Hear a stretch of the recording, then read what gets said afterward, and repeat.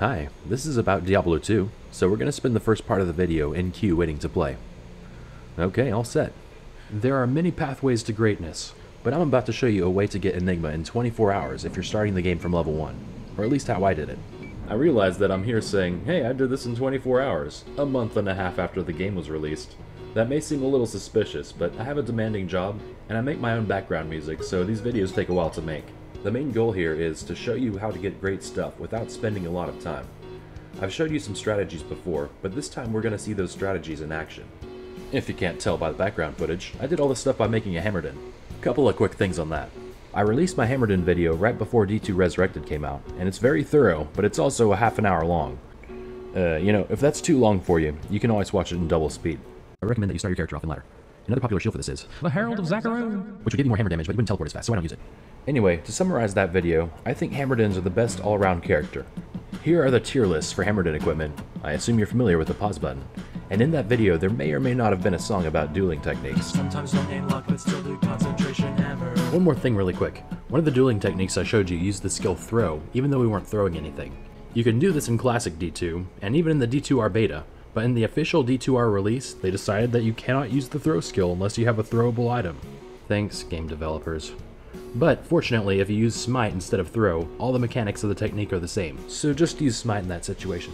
Okay, now that you're up to speed, a lot of people wanted more detail on how to get from a level 1 character starting the game fresh to the epic in-game equipment that I keep flexing in front of you. Like the Enigma, which, let's be honest, is probably the best item in the game.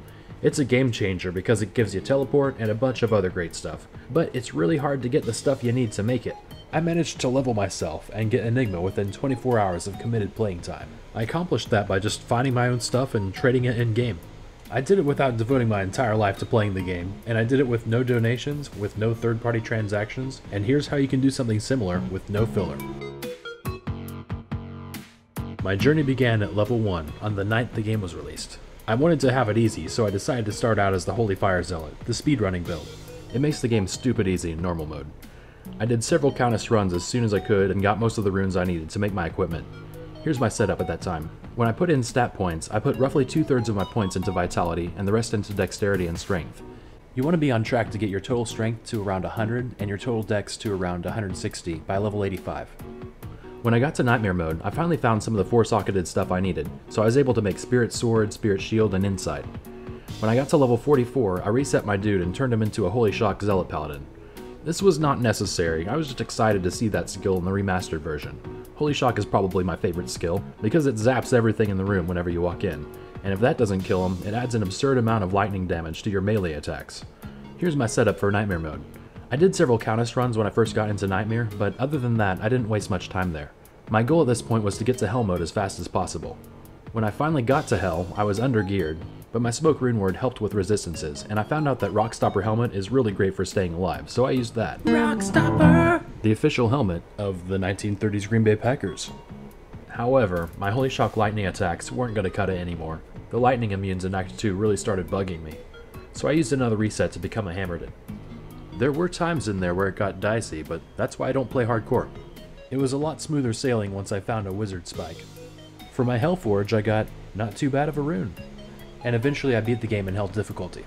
After speedrunning my way through every difficulty, I was around level 75, and I was finally able to comfortably clear out Chaos Sanctuary in Hell mode. So I knew it was time to start my get rich strategy. My strategy involves constantly making games with a trade proposal as a title. Then I clear out the same few places over and over while I'm waiting on someone to join. Which places? Well, I did Countess Council and Chaos over and over again. As a Hammerdin without teleport, you want to get around fast by charging. Make sure to always have concentration on when you're attacking, and get underneath them if you want to hit them point blank with a hammer. Spirals. One thing to remember, River of Flame and Chaos Sanctuary are level 85 areas, which are basically areas with the highest chance of finding the best loot. So clear out all the monsters you can conveniently get to. A lot of people skip over River of Flame, but River of Flame is like a playground for Hammerdins with its wide open areas. My boy Hephasto has a high chance of dropping runes also. I ended up finding a lot of good runes here on my way to Chaos, and I found some good stuff in Chaos too. And if you see clusters of wraiths or ghosts or wispy boys like this, clear them out because that enemy type has a higher chance of dropping runes. Most of the time they just drop nothing, so I don't hunt them down if it's just one or two of them, but kill big groups of them and make sure they die in a place where you can walk to. If they die out here, they're guaranteed to drop nothing. They will test your patience, but one of them dropped an ohm rune for me on the way to the Countess. I wasn't recording most of the time, but I did a quick screen grab every time I got something good.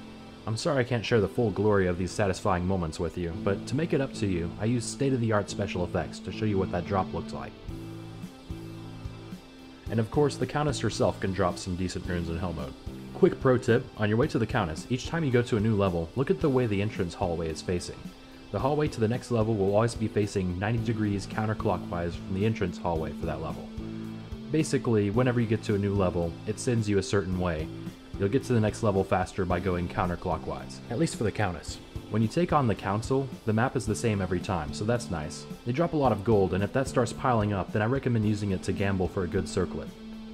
I could actually teleport before I got the Enigma, from the staff that has charges on it. There are charges of teleport on these items too, but I believe items with blue titles are usually cheaper to repair. You can get one of these by going to Akara over and over again. Make sure you get one with charges of teleport, and not a boost to the skill. And of course, the cow level is a wide open area, and it's packed pretty densely with cows. It's a decent place for you to literally go and farm. I had pretty bad luck here, so I got impatient and started cutting it for my runs. Also, I tried to do Pindleskin at first, but I didn't have enough damage reduction to tank hits from his zombie buddies whenever they were charging me. I really don't like dying, so I just did Countess, Council, and Chaos for most of my runs early on. Then, each time I cleared those out, I'd make a new trade proposal game and repeat. Basically, I'm always proposing a trade when I play. I highly recommend you do the same, because if not, if you're only magic finding, you're doing a lot more work than you have to. Let's address the elephant in the room. I'm aware that there's a website dedicated to Diablo trading, I might get in trouble if I say the name of that site, but it rhymes with He Who Hey SP. I saw plenty of people get Enigmas before me, but I'm guessing a lot of them used that website, which I will call that website for the rest of this video. This site has been around for years and hasn't been shut down yet because it uses its own trading currency, which I will call Floopy Goopies, or FG for short. I wanted to say I didn't use that website at all, and it's true I never made a single transaction on that website, but I realized that for my strategy, I really needed to see what other people were bidding for the items. Instead of actually trading on that website, I only used it to check the value of my stuff, like a stock market app. So if I had something to trade, I would search for it on that website, and I would find out how much FG the buyers and sellers were asking for it, to give me a ballpark of the value. The value is usually between the buy it now price and the in search of price. Sometimes, if I clicked on one of the auctions, I could tell how much FG that item sold for, and that would give me a more precise value. Once I had appraised my item's value in FG, I would attempt to trade it for an item that was worth a little bit more FG. My strategy when trading was to make an offer that was between 60 to 100% of the value of what I was asking for. For example, Vex and Ist for Ohm. I was asking for a little more than what I was offering, but it still wasn't a ripoff, so I got the trade and in between games, I'd take a quick look at other people's trade proposals. Sometimes you'll find a good deal that you can quickly flip a profit on. I see a lot of filthy animals out there making offers of less than 10% of the value of what they're asking for. They're just wasting their time. I know you want to win the lottery, but you'll have more luck if you propose trades that are not an absolute ripoff to the other person. You want that sweet spot where you're just barely ripping off the other person. So that's why I offered between 60 to 100% of the value of what I was asking for. This strategy got me some incredible results. It was an uphill battle because everyone else was making a Hammerdin too, or a Sorceress, so all the items I needed were extra expensive because the demand for them was so high. I knew my work was cut out for me. I know I just gave you an epic speech about making reasonable offers, literally 10 seconds ago, but I have to come clean. I made an offer of around 50% when I was asking for a Jah.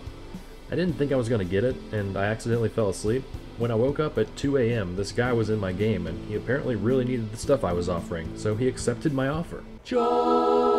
Finally, I was one huge step closer to getting my goal of the Enigma. Now I only had one thing left, the Bear Rune. I mean, the Burr Rune. I got pretty lucky with the Jah Rune, so I was ahead of schedule, so to speak, and I made it my goal to focus all my time in the game toward getting an Enigma. Getting an enigma.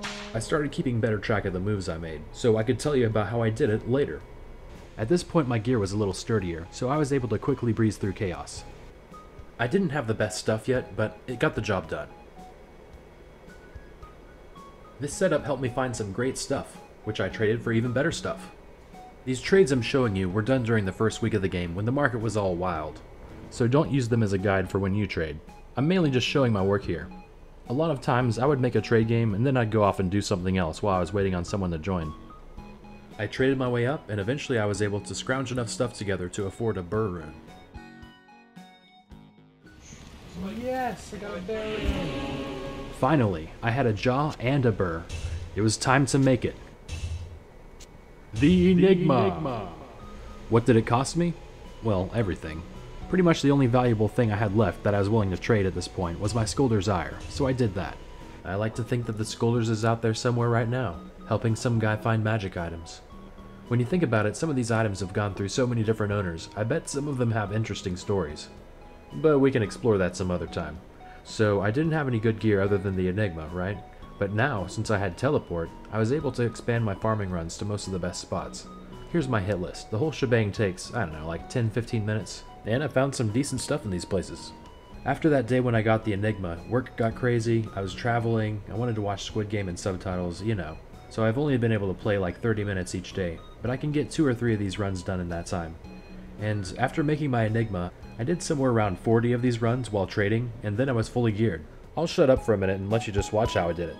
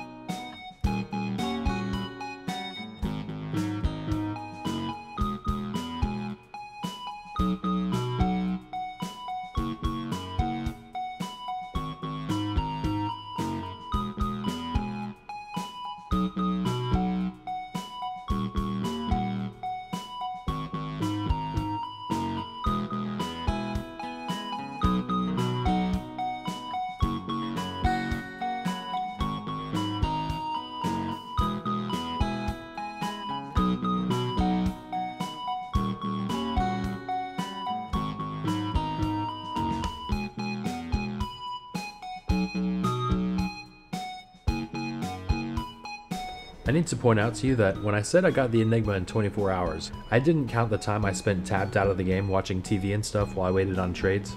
I actually needed that time in order for some of those trades to land.